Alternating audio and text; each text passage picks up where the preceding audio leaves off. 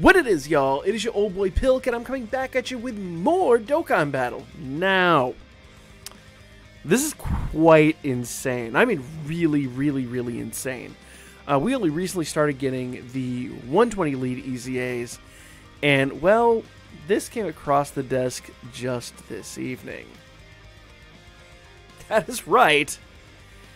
Int Goku, a category leader, mind you, is getting an EZA on JP. Now we're missing like five or six EZAs on JP for 120 leads. And now we're getting category leaders.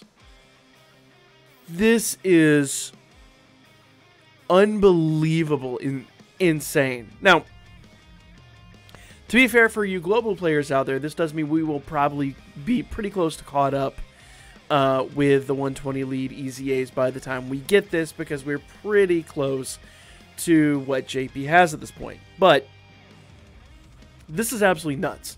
Now, big shout out to Goresh over on uh, Twitter. Um, I'll put a link to his uh, YouTube channel in the description down below because he did talk about this, and he's the one who translated this. Um, leader skill Realm of Gods category Ki plus three HP attack and defense 160%. All stats 160. Pretty damn nice. Or int type Ki plus three HP attack and defense 100%. Passive skill attack and defense.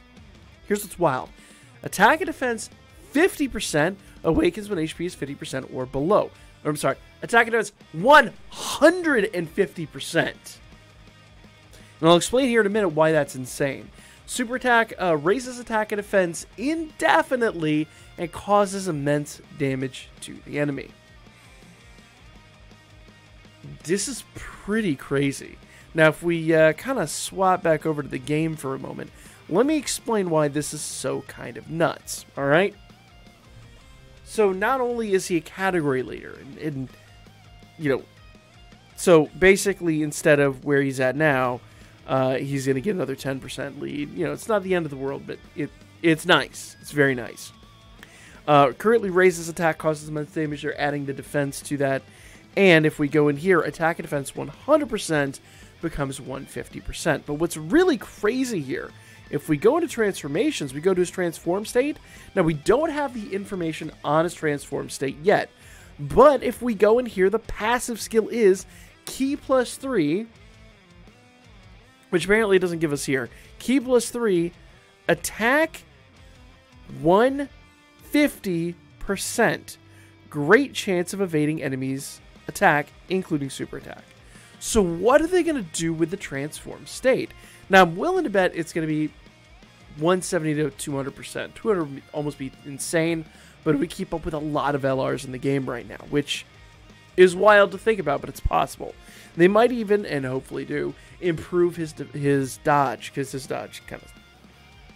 I mean, there's a reason that. I mean, to be fair, you have no choices in int going to get dodge, but extra dodge and extra dodge and extra dodge really isn't such a bad thing. And no, I've not really leveled this guy up.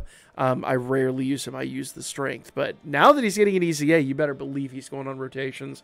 And I'm going to be leveling him up in preparation for this dropping on global. So it's pretty wild. Um, I'm willing to bet his SA isn't going to change between the two states because it hasn't here. But he is going to get a pretty, pretty, pretty beefy passive after he transforms in this state. So at this point, we don't know what it is, but you can let me know in the comments section down below what you think that he's going to get. Now, it is worth noting that he also has the First Awakened. And that becomes what I believe 30% after he's he's level 10 so it's he's going to have some crazy crazy crazy crazy link skills and this unit is going to be hitting like a truck. Basically back to the level he was equivalent to when he dropped in the game. That crazy op so those of you that are on global yes this will be dropping in july probably late july. Uh, we're right now we're a week into the anniversary, and this usually drops, and you've got a couple of days. So, um, for global, you'll probably get this late July. That said, it is worth watching and being hyped about. JP Dokkan's anniversary is nothing to scoff at. They've already dropped a UI Goku and an Evolution Blue Vegeta, and it is wild. Now, then, that does pose a big question. A lot of people have kind of surmised that because UI Goku's getting his EZA, that Evolution Blue might get his EZA. And I think that's quite possible. But to be fair, we haven't had like a proper Extreme Z battle uh, since what third anniversary? I think at least not not during the uh, anniversary itself.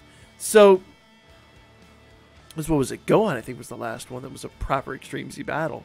So we might we might not. You know, it's it's a tough call. Or maybe the EZA will drop the medals for both. Who knows? But let me know what you guys think in the comments section because I am blown away by this information. The anniversary just keeps getting better and better and better and better. And those of you on Global, pay attention because this is everything that's coming to our version of the game in less than six months. And it's stuff that you want to be prepared for, hence why I'm dropping the video. So, guys, let me know what you thought in the comments.